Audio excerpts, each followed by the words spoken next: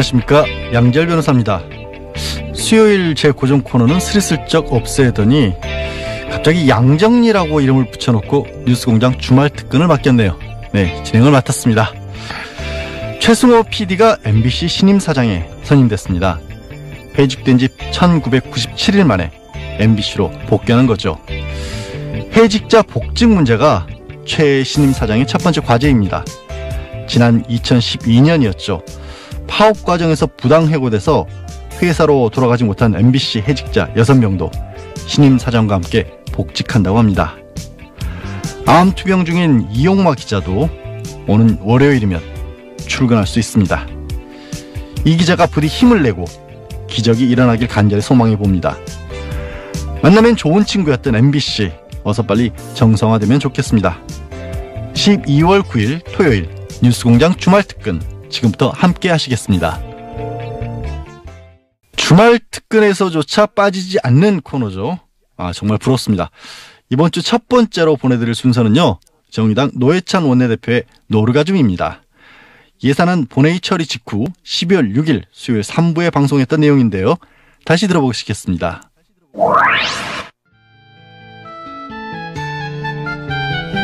노르가즘 노회찬 원내대표 나오셨습니다. 안녕하십니까. 네, 안녕하십니까. 자, 예산안이 이제, 어, 중요한 화제일 수밖에 없고, 어제 통과됐기 때문에. 오늘 통과됐습니다. 오늘이죠. 새벽에 통과됐으니까 오늘 통과됐고. 근데 나경원 의원이 2부에 잠깐 나오셨는데, 어, 이런 항의를 하고 하셨어요. 이제 잠정 합의를 했다, 원내대표. 네, 네. 잠정 합의라는 것은 이제 의원총회에 돌아가서 추인을 받아야 되는 사안인데, 추인도 안 됐는데 통과시켰기 때문에 이건 날치기다, 신종. 이렇게 표현을 했어요. 여기에 대해서 전문가로서 한마디 제가 손님으로 오셔가지고 일일이 반박을 못 했는데. 네. 일단 예산안은요. 네. 국회 선진화법에 의해서 그 합의에 이르지 못하면은 본회의에 자동 회부되게 돼 있습니다. 12월 2일까지. 예. 그래서 자동 부의. 예. 12월 1일 날 자동 부의된 상태였고 이미. 12월 1일 날 부로 부의된 상태였고 예.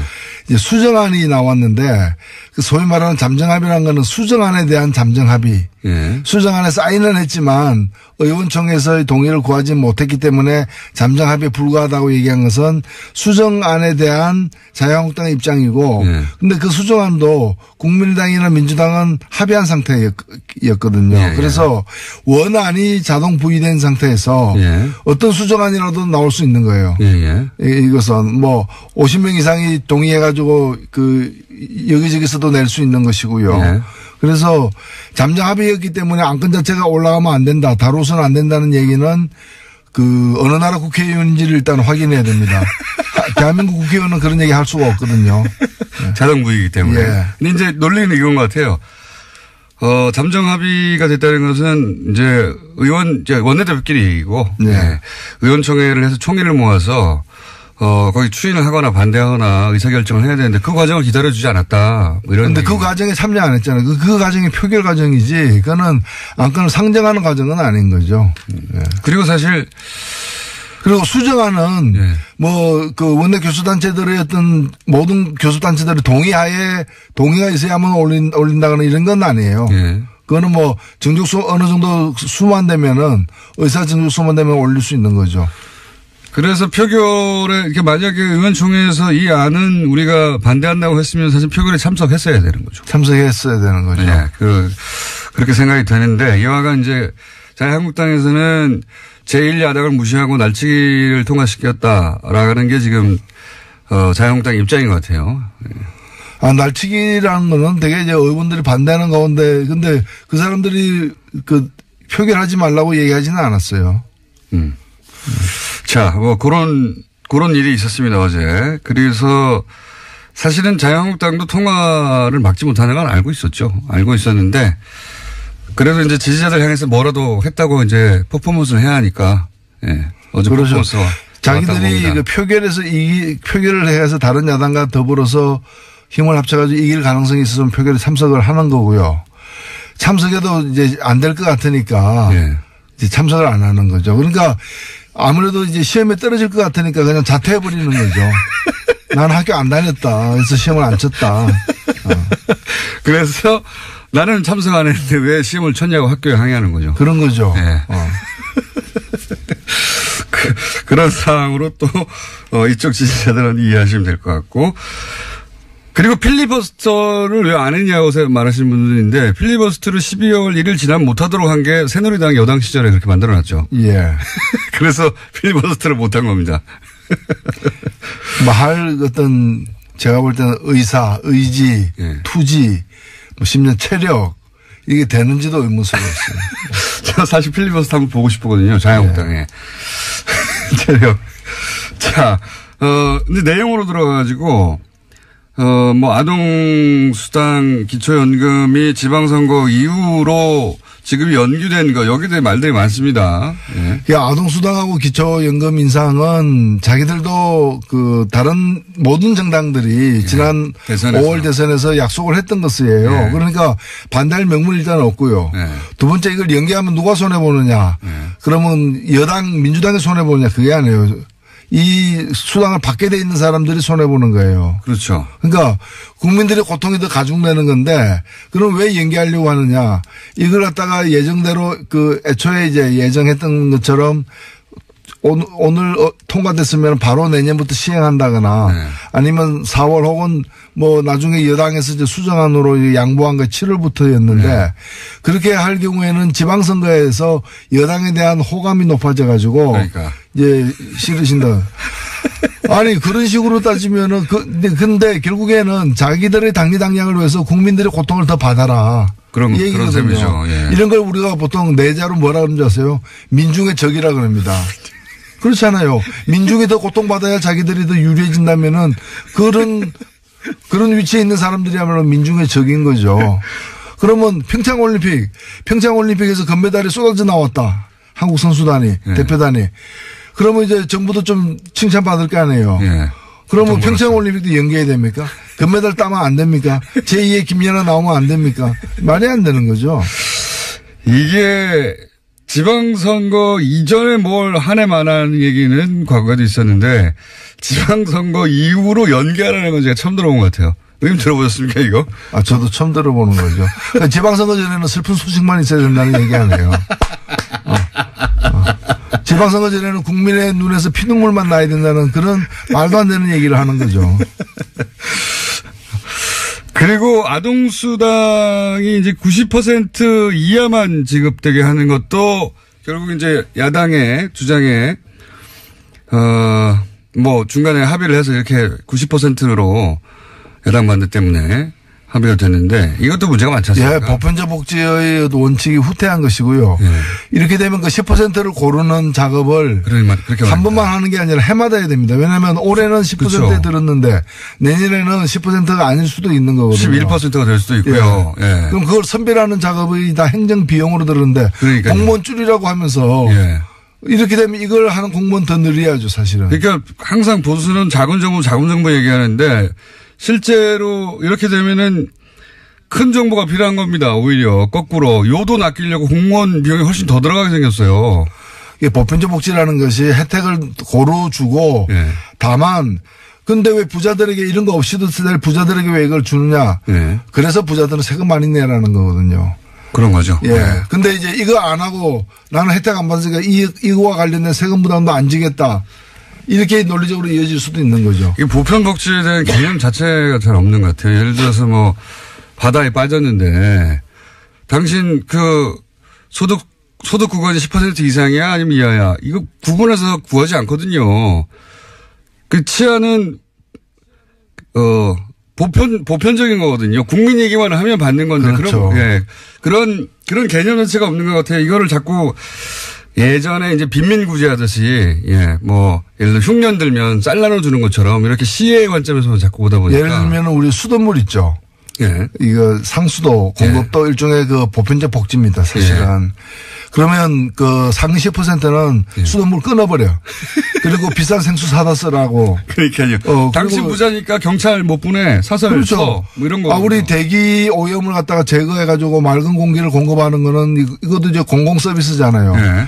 그러면 그래서 그걸 위해서 돈을 많이 쓰잖아요. 다음 그 돈, 그런데 호흡은 똑같이 다 하잖아요.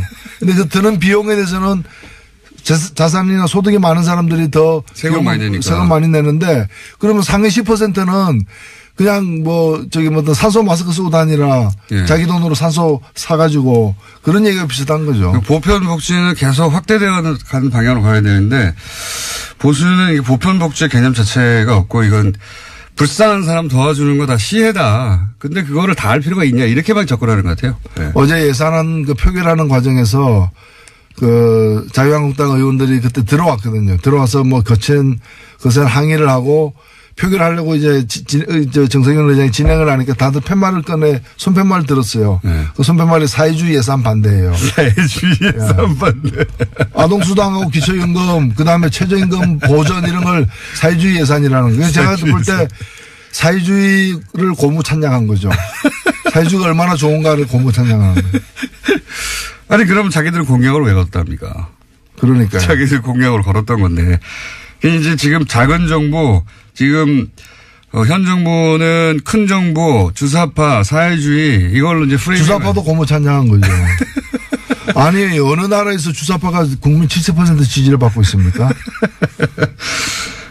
그런 프레임 작업을 계속 하고 있는 거죠. 예. 그, 그 연장선상에서 시도를 했는데, 뭐, 성공적이지는 않은 것 같습니다. 성공적이지는 않은 것 같은데, 기본적으로 그, 철학이 있고 없고의 문제인 것 같아요. 이걸 국민 모두가 누려야 되는 기본권에 관한, 기본권으로 보느냐, 아니면 이제, 불쌍한 사람만 도와준 불우이웃 돕기냐, 이렇게 보는 거죠. 예. 불우이웃 돕기로 보는 것 같아요, 복지를. 항상.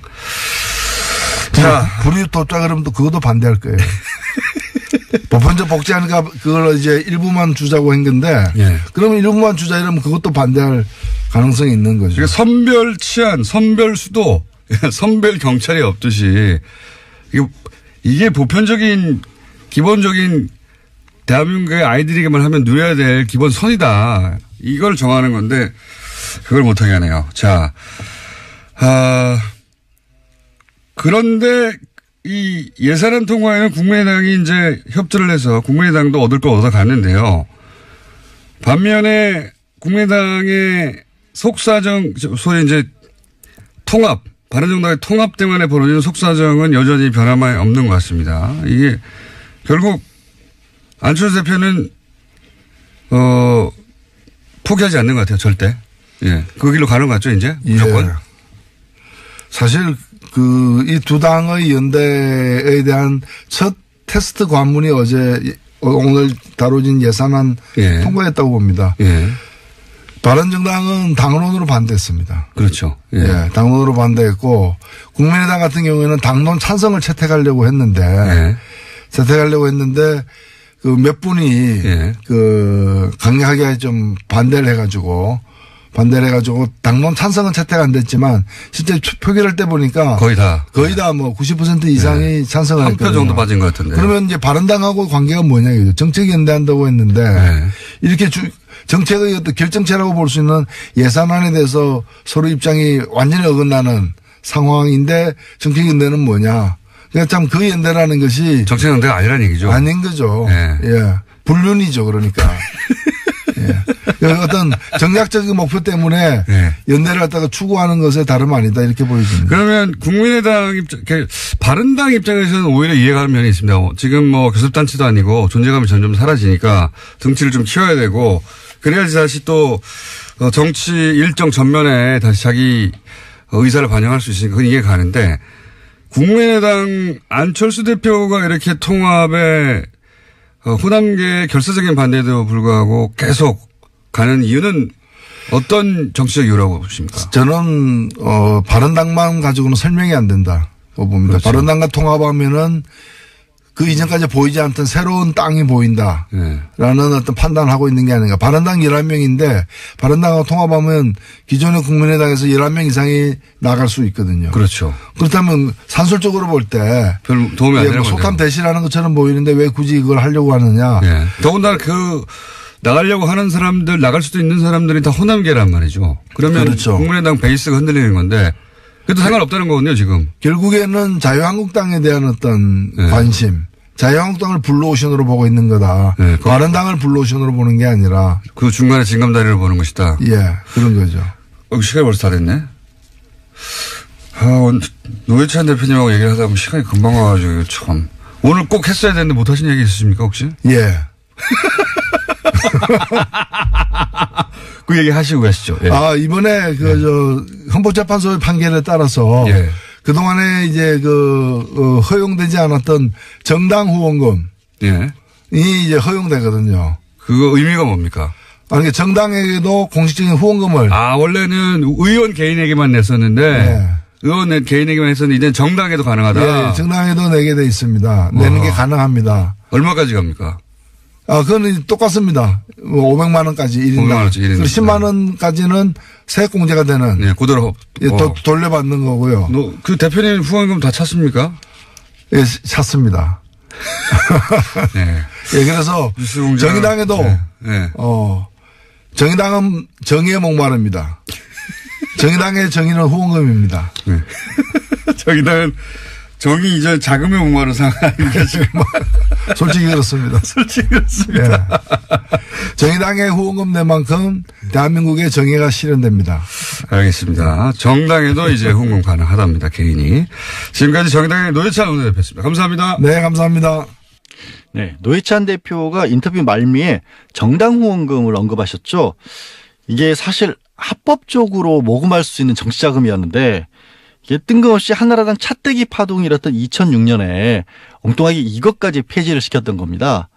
그러다가 지난 6월 27일 문재인 대통령이 첫 국무회의에서 이 정당 중앙당 후원회를 부활시키는 내용을 골자로 하는 정치자금법 개정 공판을 의결했고 부활을 시킨 거죠. 이게 어떤 의미냐면 각 정당이 그러니까 개인이 아니라 정당이 중앙당 차원에서 후원금을 모금할 수 있고 또 국민들은 정해진 기준과 방법에 따라서 자기가 원하는 정당이나 정치인에게 합법적으로 정치 자금을 기부할 수 있게 된 겁니다. 문재인 대통령도 민주당에 법정 한도액 500만 원을 기부했다고 하는데요. 뭐 어떤 정도의 효과가 있을지는 모르겠지만 지도부가 등장해서 홍보 영상까지 찍었습니다. 예, 제법 재미있는 영상들도 많이 있던데요. 정당 후원금에 대해서도 10만 원까지는 연말에 세액 공제 받으실 수 있으니까요. 관심 있으신 분들은 기부해 보시는 것도 적극적인 정치 참여 의사인 것으로 보입니다. 네, 주말 특근 두 번째 순서입니다. 목무일 검찰총장이 적폐청산 수사를 연내 마무리할지도 모르겠다라는 식으로 말씀하셔서 논란이 일었는데요. 박범계 더불어민주당 적폐청산위원장 인터뷰를 그와 관련해서 진행해 봤습니다. 12월 7일 목요일 2부에 방송했던 내용 다시 들어보시죠.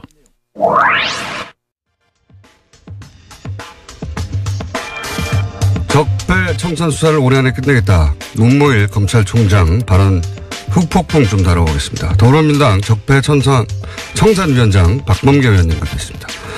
안녕하세요, 위원장님. 네, 반갑습니다. 네. 어, 검찰총장이 적폐청산 수사를 올해 안에 끝내겠다. 이렇게 말하면 안 되는 거 아닙니까?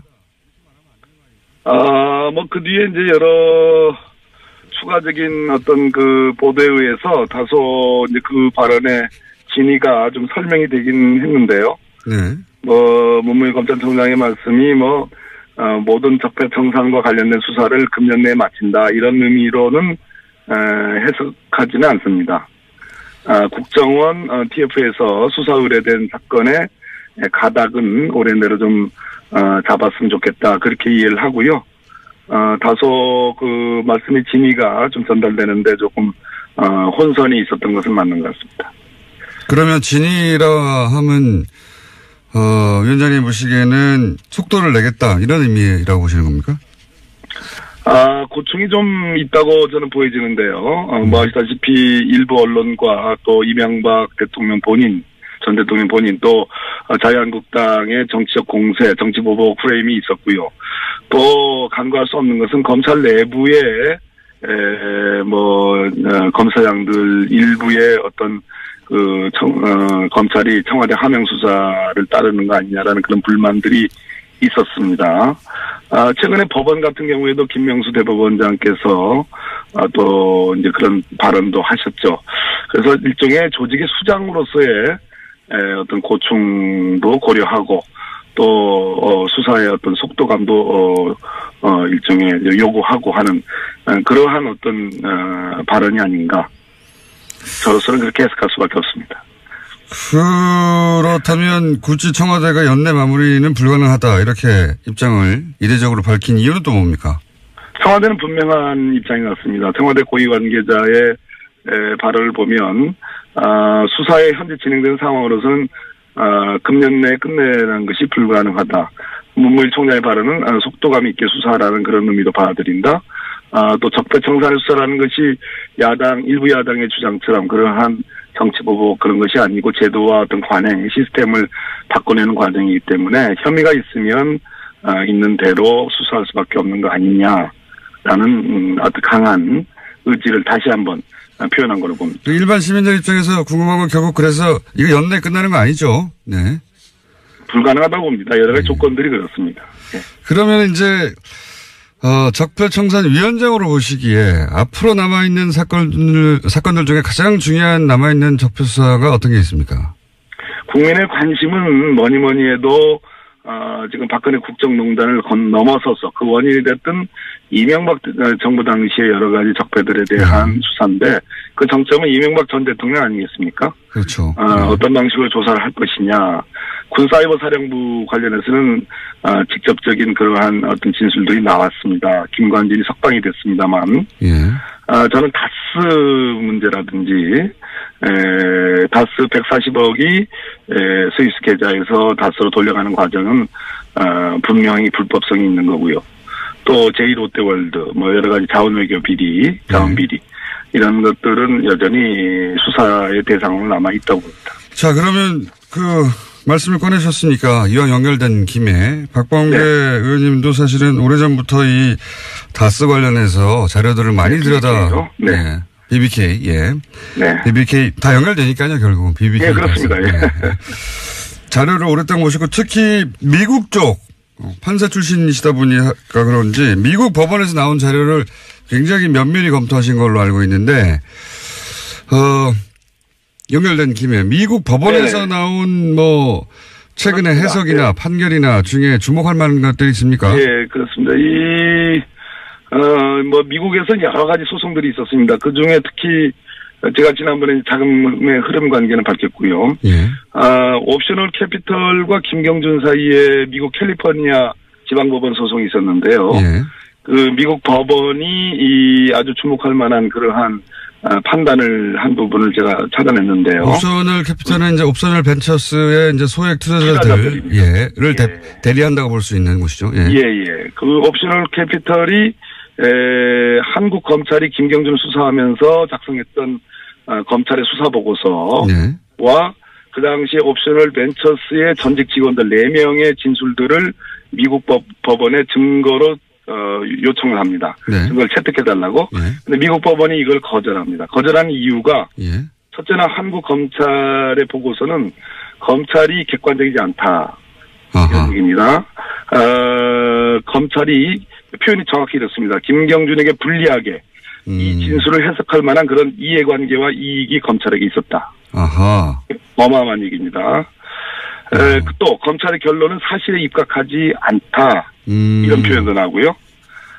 어, 그렇기 때문에 에, 이 검찰의 수사 보고서는 공공 보고서로서 법정으로 채, 법정에서 채택할 증거가 아니다. 어허. 라고 분명히 얘기하고 있고요. 또 하나는 자, 잠깐만요. 미국 법원이 그러니까 BBK 수사를 한 한국 검찰을 불신한다는 내용이 그렇습니다. 미국 법정에서 없다는. 없다는 얘기고요. 예.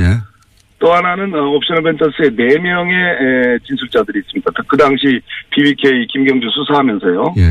그 사람들의 진술도 어, 증거로 채택할 수 없다고 보는데요. 예. 어, 결론적으로 이거는 이명박으로부터의 보복을 두려워하는 증인들에 의해 만들어진 진술이다. 이런 표현이 나옵니다. 야, 이거는 저 같은 사람이 주장하는 걸 미국 법원이 주장을 했네요. 판단했습니다. 그러네요. 구체적으로 에, 여보세요? 네, 듣고 있습니다. 흥미진진하게 예. 듣고 있습니다. 네. 예, 예, 그렇습니다. 그래서 이런 표현도 나옵니다. 이 네 사람의 진술 중, 진술은 서울시장인 이명박의 대리인들이 증인들에게, 에, 진술 바꾸지 마. 그리고 이 어떤 식으로든 김경준을 돕지 마. 라는 강한 압박 속에 만들어진 거기 때문에. 믿을 수 없다 이런 얘기입니다. 미국 법원이 어떻게 그런 판단을 했죠? 잘 판단한 거죠. 그러니까 제3자의 이해관계가 전혀 없는 미국 법원이 여러 서류들을 검토하다 보니 그렇습니다. 그냥, 충분한 예. 서류들을 예, 보고서요. 그러니까 정치적 판단이 심지어 아니라 예. 심지어 이상훈이라는 배- 옵셔널 벤처스의 직원은 어, 수감된 상태로 일주일 동안 신문을 받았다. 강압으로 초래된 진술 이므로 예. 어, 신뢰성이 떨어진다. 이런 표현도 나옵니다. 어허. 이게 이제 국내하고는 다르게 전혀 정치적 이해관계 없이 그냥 사건 자료만 보다 보니까 미국의 판사가 아 이거는 뭐 검찰이 BBK 수사를 엉터리로 했네 이렇게 판단한 거군요. 믿을 수 없다 한마디로 이런 얘기입니다. 허허. 그리고 또 다른 내용이 있습니까? 또 하나는 140억 다스로 네. 돌려가는 그 소송이 있었는데요. 네, 140억. 그 소송은 별개의 소송입니다. 원래 140억을 이제 옵션을 벤처스가 받으려고 한 건데 이거를 다스가 가져가 버린 사건이죠. 예. 그렇습니다. 예. 에, 이 이것에 대한 어, 미국의 에, 일종의 제2항소법원, 캘리포니아 제2항소법원의 판단인데요. 예.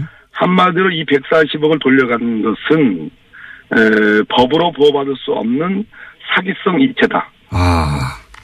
그 불법행위에 의한 사기성 송금이라는 판단을 명확히 했습니다. 음. 그렇다면 지난번 주진우 기자의 폭로가 있었지 않습니까? 예. 이명박 대통령 시절에 청와대 민정수석실 행정관 그리고 LA 총영사 김재수의 개입 예. 그와 관련된 회의록들 예.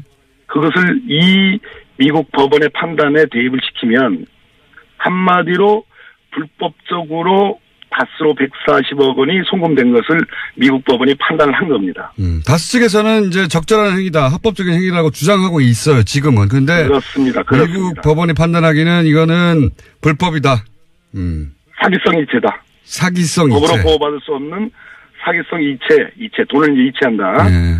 사기성 이체이기 때문에 불법 행위에 의한 사기성 송금이라는 표현도 쓰고요. 그렇기 아. 때문에 이 부분은 우리 검찰이 지금 저 서울중앙지검 어, 첨단 범죄 수사부에 지금 일부에 배당이 돼 있거든요. 예. 이 부분을 수사하면 바, 로 결론이 나옵니다. 사기성 이체라는 표현도 등장합니까? 그렇습니다. 매우 만족스러운 표현이네요. 우리 김호춘 공장장님 입장에서는 그렇게 그렇군요. 미국, 쪽하신가 보죠. 미국 법원은 사실 한국에서 일어난 일임에도 불구하고 자료만 가지고도 충분히 거기 그런 결론에 도달해 있군요, 이미. 미국 법원은 전 세계적으로 증거법적으로 아, 가장 거의 완비될 정도로 증거 능력에 관해서는 정말 아, 엄밀하게 보는 법원입니다.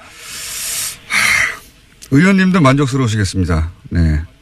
네. 의원님도 오랫동안 이 사건을 들여다보신 걸로 아는데, 예. 결론적으로 문무일 검찰총장께서 어젠가 에, 서울중앙지검 3차장 한동훈 3차장과 지금 이 다스 사건이 지금 배당되어 있는 네. 첨단범죄수사 일부 신봉수 부장을 대검으로 불렀습니다. 예.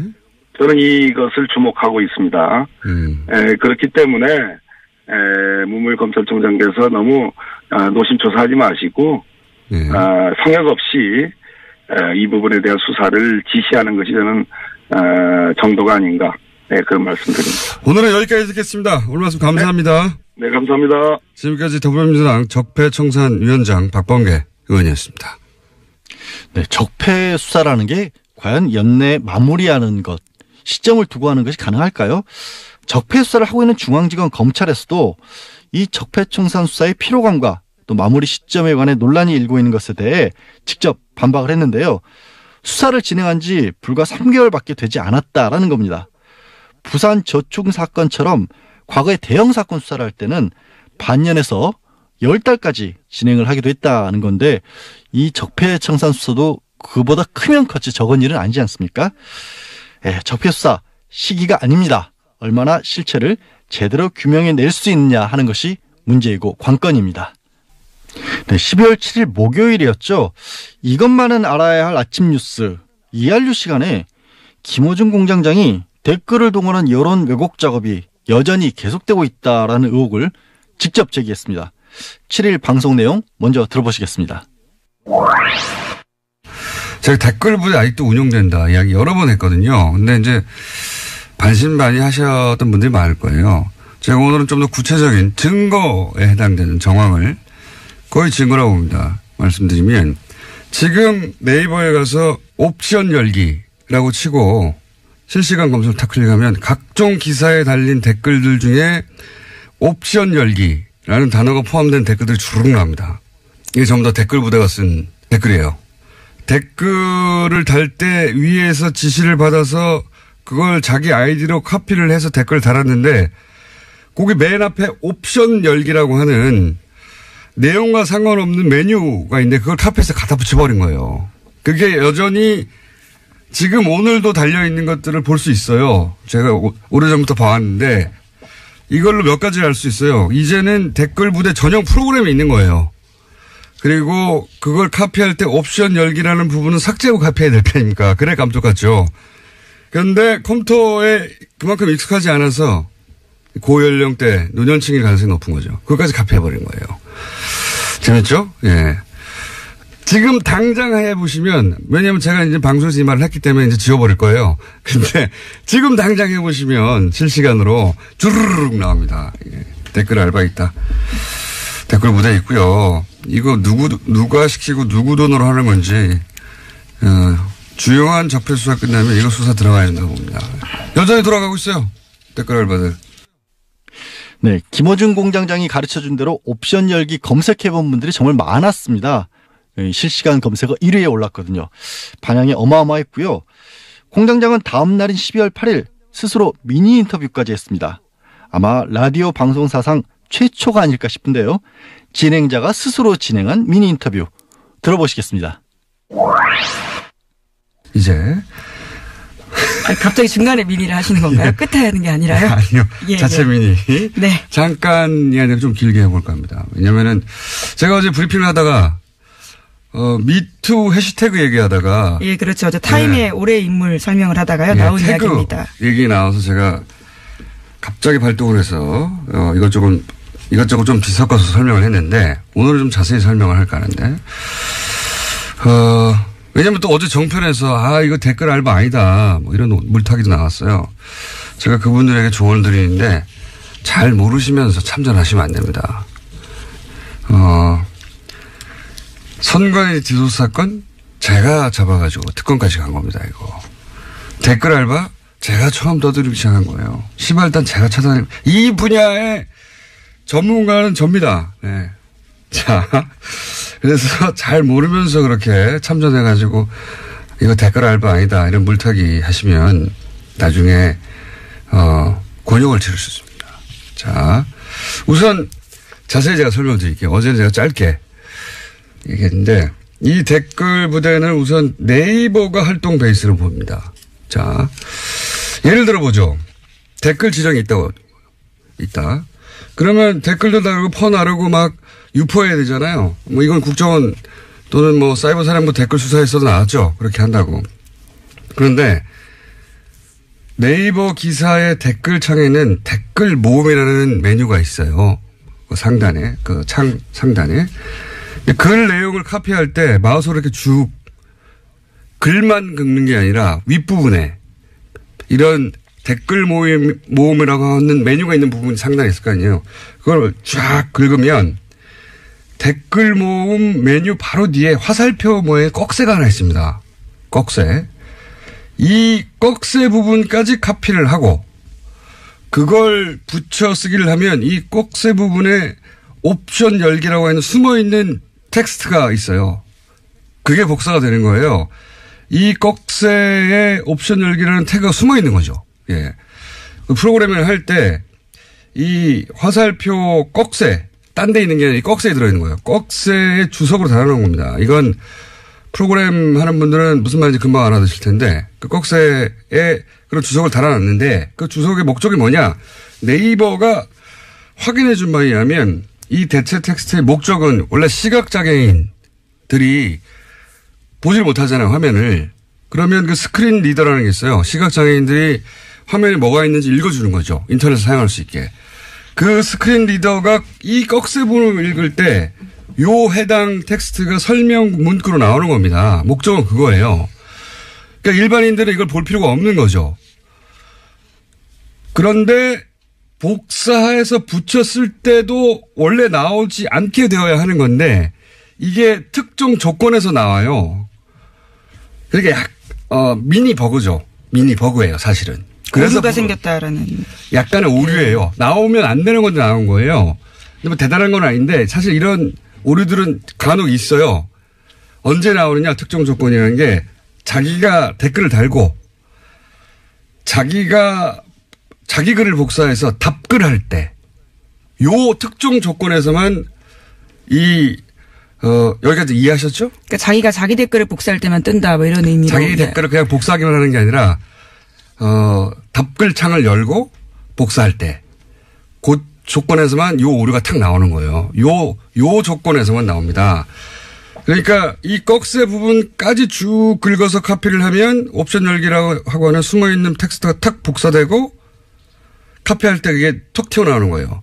어쨌든 기술적인 부분 자세히 몰라도 되는데 그럴 때 나오는 오류인데 중요한 거는 자기가 댓글을 달고 자기 댓글을 복사하고. 자기 댓글을 쭉 상당 부분까지 예. 사실 생각해 보면 꼭 텍스트만 때 텍스트 복사도 되잖아요. 꼭 필요하면 꼭 필요한 경우도 없지만 근데 그 위에 부분까지 쫙 긁어야지 이게 나오는 겁니다. 그것도 그 꺽쇠 부분을 포함해야지. 어, 종편에서는 뭐 자기 글을 자기 아이디까지 복사하면 일어나는 일이라- 일이라서 실수라는 식으로 물타기를 하는데 생각을 해보면 자기가 게시 글에다가 댓글 하나 달았어요. 근데 그걸 댓글창을 열고 자기 아이디부터 쭉 긁는 경우가 언제 있습니까? 그것도 반복적으로 여러 번 일어났다는 점에서 좀 이상한 건 사실입니다. 그것도 이 글들의 유형을 보면 그, 어, 위에 있는 문장과 상관없는 덧글을 또 달거든요. 한번 한 다음에 계속 갖다 붙이는 거예요, 이게. 그렇게 수많은 사람들, 제가 확인한 것도 천 명이 넘어요. 그리고 그게 실수라면 왜 오로지 정부 비판하는 사람들만 그런 실수를 반복적으로 수천 명이 하냐고요. 말이 안 되죠. 이건 댓글 부대예요. 어, 그리고, 자, 그리고, 생각해 보자고요. 스스로 SNS를 운영하는 사람이에요. 페이스북을. 자기가 그런 사람들은 옵션 열기 같아, 옵션 열기 같은 말도 안 되는 문구는 그게 맨 앞에 붙어 있거든요. 맨 앞에 붙어 있으면 그걸 그대로 둘 리가 없어요. 자기 SNS니까 하루에도 몇 번씩 확인하는데 이거 뭘 말하느냐? 자기 SNS가 아닌 겁니다. 아무 애정 없이 여론 조작용 계정, 자기 할당 입문만 하고 그 다음에 쳐다보지도 않는 거예요. 그래서 말도 안 되는 이런 문구가 붙었는지 모르는 거예요. 알바입니다, 알바. 자, 그런데 옵션 열기는 그렇게 네이버 댓글 답글창에서만 나오는 오류인데 제가 어제 프로그램으로 이런 지령을 받았을 거라고 추정했지 않습니까? 이거 구체적인 설명을 안 해가지고 뭐 제가 틀렸다고 함부로 덤비시면 안 돼요. 자, 옵션 열기 말고 이런 아이디들이 다른 문구들까지 카피해서 붙어 있는 경우들이 있어요. 옵션 열기가 대표적인 거고, 예. 어제는 짧게 얘기하느라 대표적인 옵션 열기라는 문구 하나만 얘기했는데 다른 문구들도 붙어가지고 쓸데없이 뭐 이를테면 어떤 건가요? 어, 여러 가지 있어요. 뭐 layer 같은 것도 있고 여러 가지가 있어요. 그러니까 자기가 쓴 글이 아닌 거예요. 분명히 카피한 겁니다. 어디서 카피한 건데 그 카피한 걸 안 지운 거가 있어요. 근데 그걸 그대로 트위터나 페이스북에 갖다 붙인 글들이 꽤 있습니다. 그래서 제가 이걸 보면서 아 이건 네이버 이외에 어떤 다른 어떤 프로그램의 어떤 프로그램 메뉴 부분을 긁다가 같이 붙이게 된 거구나 추정을 한 거예요. 그리고 또 한 가지 생각을 해보면 이제 댓글 지정이 있다고 칩시다. 그럼 내용만 갑니까? 아니에요. 그걸 어디다 쓸 건지 지정해 줘야 되잖아요. 그러니까 그 글을 어디다 달지 링크가 같이 가야 됩니다. 이게 짧은 게 아니란 말이에요. 기, 기, 이거 불러줄 수도 없어요. 그러면 카톡이나 메일 같은 걸로 보낼 수도 있어요. 물론. 근데 지난 수사 때 잡힌 게 다 그런 거예요. 수사 때 설린 게 메일 내에서 나오고 막. 그러니까 내용과 링크를 어떤 프로그램으로 이제는 보내는 게 아니겠는가 앞에 거 부- 부분하고 합쳐서 그렇게 추정을 한 겁니다. 물론 이런 별도 프로그램이 없을 수도 있어요. 원시적으로 할 수도 있어요. 여전히. 뭐 메일로 한다든가. 프로그램이 없을 가능성도 있는데 프로그램이 있을 거라는 추정한 것은 그런 근거에 해서 한 것이고. 근데 프로그램이 있냐 없냐는 본질이 아니에요. 그건 그것도 제가 계속 추적해 보고 싶은데 중요한 건 이 옵션 열기 댓글 부대가 현재도 돌아가고 있다. 그런 정황이 명백하다. 그런데 옵션 열기라고 하는 실수 없이 유포된 건 얼마나 더 많겠는가. 예. 여기가 끝이 아닙니다. 너무 긴가요? 네. 왜냐면은 자꾸 이렇게 어설프게 덤벼가지고 댓글 부대인 정황을 좀더 얘기해 볼게요. 제가 어제 방송한 직후에 이건 제 머리 싸움에 당한 겁니다. 이거 댓글 부대 운영하는 사람들이 제가 방송을 하자마자 옵션 열기에 붙어 있는 수많은 댓글들이 신속하게 삭제됐어요. 자, 꽤 삭제됐다 그러더라고요. 제가 확인한 것만 해도 몇백 건이 넘어요. 뭐 몇천 건이 넘었고 넘을 겁니다. 엄청나게 많아요. 원래 있던 거 거의 다 없었어요. 검색하면 안 나와요, 이제. 그런데 이게 단순 실수다. 그러면 그 단순 실수한 사람들이 하필이면 그 시간이 다 실시간으로 뉴스 공장을 듣다가 한꺼번에 다 같이 게시판에 가가지고 어, 나의 실수를 다 지워야 돼. 다 없애버렸다? 이것도 말이 안 되는데 단순 실수인데 그걸 왜 줍니까? 어, 내 실수했구나 하고 알지. 더구나 여기가 제가 보기엔 이 한꺼번에 지운 거는 실수예요. 저의 머리 싸움이 당했다. 그럴 줄 알았어요. 그리고 댓글만 지운 게 아니에요. 나 이럴 줄 알았어. 아이디도 없애버렸어요. 아니 실수 좀 했다고 자기 아이디를 자기가 없앱니까? 네, 하지만 실시간 캡처본들이 요새 돌아다니고 있어서요. 그 내용들과 아이디가 남아 있긴 옵션 합니다. 열기 했던 아이디 확인해 보세요. 이것도 실수예요. 이거 왜 다 지우냐고. 놀래서 지운 거예요. 방송하니까. 그리고 또, 또 있습니다. 보통은 기사가 메인이 노출이 돼야 댓글이 달리죠. 어딘지 모르니까, 일반인들은. 근데 저는 오래전부터, 아, 요거는 댓글 보다가 관심이 많겠는데? 하는 기사가, 뉴스가 있으면은, 원래 뭐 수십 개 관련 기사가 있잖아요. 저는 그 수십 개를 다 클릭해 봅니다. 댓글이 어떻게 달렸는가 일부러 보려고. 그런데 그러다 보면 아직 메인에 안 걸렸는데 옵션 열기가 간혹 붙어 있는 게 있어요. 그러니까 그리고 나서 이 옵션 열기가 붙어 있는 수십 개, 수백 개의 글 기사 중에 하나는 어김없이 그 기사가 메인에 걸립니다. 그래서 제가 항상 의아했던 것은 그걸 몇번 본 적이 있거든요. 그러니까 메인에 떠서 작업을 한 게 아니라 작업이 먼저 있고 그게 메인에 뜨는 경우 아니 이 댓글 작업자는 메인에 걸릴 줄 어떻게 알았을까? 개인적으로 가장 이상하게 생각했던 케이스들인데 종합적으로 여전히 댓글 부대는 여전히 운영된다 얘기를 하고요. 그리고 잘 모르시면 여기에 참전을 하시면 안 됩니다. 제가 제가 이 분야의 전문가입니다. 오늘은 미니 여기까지 할게요. 또 다른 미니가 아닌 것 같은데요. 뭐 제가 진행자가 될 거, 아니 어제 이제 같고요. 제가 네. 떡밥을 던졌더니 와르르 물어가지고 예 반가워서 미니를 이 미니를 할 사람이 없어요 국내에 그래서 자체 미니를 제가 좀 길게 하고 아 시간을 다 먹, 다 먹었네요 제가 네. 네. 어쨌든 어제 당황했을 거예요 이 댓글 부대 아이디도 막 삭제하고 댓글도 삭제하고 난리가 났던데 조직과 예산이 확인되면 더더욱 이제 좋을 것으로 보이는데요. 쉽지 않을 거라고 예. 봅니다. 아웃소싱 한 것 같아요. 국정원 직원이 직접 이런 바보 같은 짓을 했을 거라고 저는 보지는 않습니다. 예. 어디, 어디 있다. 뭐 추정들이 확인되기 위해서는 네. 외부 공장이 있다고 제가 봅니다. 예. 제가 댓글 부대 개인 스토커예요. 또 미니를 하셔야 될 것 같은데요. 아니 뭐, 이제 욕에 대한 대응이 나오면 또 다시 제가 미니를 길게 야금, 야금야금 하겠습니다. 여기까지만 일단 하죠. 예, 정말 이 공장장의 옵션 열기 문제 제기 이후에 TBS 홈페이지와 앱이 다운이 됐습니다. 그리고 나서도 하루 종일 이 실시간 검색어 상위권을 지켰는데 청취자분들 반응도 정말 뜨거웠습니다. 직접 댓글 찾기에 나서기도 했던 모양이에요. 2946번님, 어제 옵션 열기 댓글 찾아보느라 바빴네요. 박은주님, 실시간으로 옵션 열기 테스트 해보았는데 맞군요. 김호중 공장장 전문성 대단이라는 문자 주셨습니다. 관련 보도가 잇따랐고 TBS로 관련 제보도 속속 도착하고 있는데요. 디지털 시대에 적응하지 못하는 낡은 사고방식을 가진 사람들이 아직도 엉뚱한 짓을 벌이고 있다는 거죠. 댓글을 통한 여론 왜곡 정말로 진행되고 있는지 규명해야 할 것입니다. 네, 뉴스공장 주말 특근이 동시간대 라디오 청취율 1위라는 사실 알고 계신가요? 예, 주말 특근도 1위라는 뜻입니다. 물론 평일 아침 방송되는 김어준 뉴스공장은 두 자리 청취율을 달성했습니다. 예, 김어준 공장장과 뉴스공장 제작진이 청취율 10%를 넘으면 하와이 여행을 보내주겠다고 약속했던 TBS 대표 분께 항의를 하고 있다고 하는데요. 심지어 지난주에는 한 청취자께서 이 대표에게 하와이 행을 촉구하는 내용 증명까지 보냈다고 합니다. 예, 정말 뉴스 공장은 청취자 여러분께서 만들어주신 겁니다. 그나저나 정차영 대표님 내용 증명에 대한 답을 아직도 안 하고 계신다고요. 예, 또큰 성과가 있죠. 김어준 뉴스 공장이 팟캐스트 다운로드 수 누적 10억 건 돌파를 앞두고 있습니다. 전부 말씀드린 것처럼 청취자 여러분의 성원 덕분입니다.